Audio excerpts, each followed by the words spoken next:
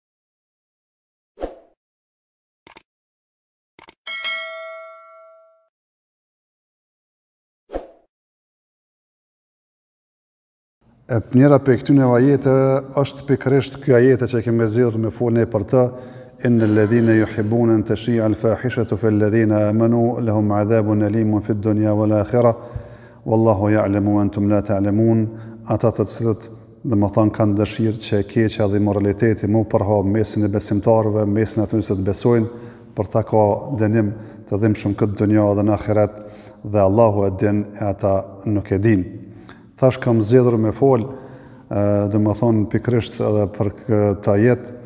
për shkak se kohë pas kohe njerëz sprovohen, E ndoshta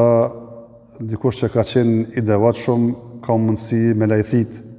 e ndonjë shoqëri që ka qenë më mirë se ne ka mundësi me u sprovu. Edhe thjesht njerëzit me shfrytëzu këtë rast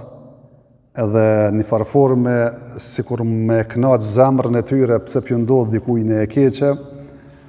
Kam zgjedhur me fol domethënë për këtë temë, ngase realisht kjo që njeriu mu kënaq kur të godit dikush, dikon e keqja, është sifat i munafikëve. Allahu Azza wa Jall kur ka shkru, ka fol për munafikët, ka thonë in tu in yusibkum in tusibkum sayyi'atun yafrahu biha, kur t'ju godet ndonjë e keqe, ata gëzohen, thjesht për mu gëzue nëse i godet ndonjë e keqe muslimanët. E çfarëdo natyre qoftë ajo, është domethënë sifat i munafikut. Kjo e para, e dyta,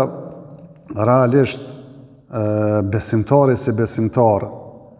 duhet me qenë i udhëhequr prej asaj se atë që ia don vetes, ia don edhe tjetrit.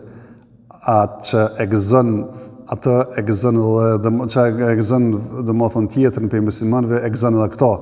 Ajo që e shqetëson vëllon e tij musliman duhet me shqetësu edhe këto. Që kjo është parimi domethënë që feja islame e ka ndërtu shoqërinë islame. Që thjesht me bashkëndje musliman njëri me tjetrin. Qofse ai ka gëzim ti mu gëzu, qofse ai ka idhnim ka fatkeqësi ti me ndje dhimbje me to. E jo të kundërtën,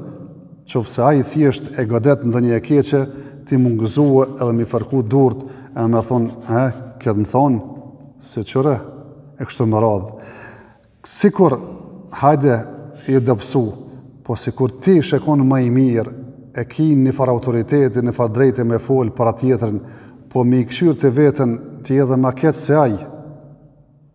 Çfarë guximi domethonë guximi po merr, domethonë me e kesh vëllaun tënd musliman, apo ndonjë shoqëri tjetër islame, apo ndonjë shtet musliman, pamvarësisht dallimeve ideologjike që mundesh me i pas ti me të,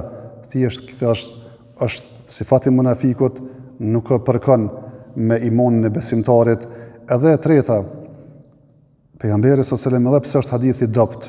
ka thonë mos e përqesh vllaun tënd që është goditur me një fatkeqësi se Allahu ndoshta e mëshiron atë e ty të sprovon. E kemi fjalën ne domethënë të urtë çka të qesh e vesh. Thjesht mos u gëzo që e ka goditur atë tjetrin se ka mundësi Allahu azze ve xhel e fal e sprovon ty edhe pse thashë si hadith nuk është i vërtetë sipas mendimit të dijetarëve të mëdhenj të shquar ky hadith nuk është i vërtetë mirëpo përvoja e njerëzve ka vërtetuar se ai njeri që tallet me tjerët me fatkeqësitë e tjerëve përqesh ata realisht nuk ka lënë kohë e gjatë edhe sprovohen edhe ata në këtë dynja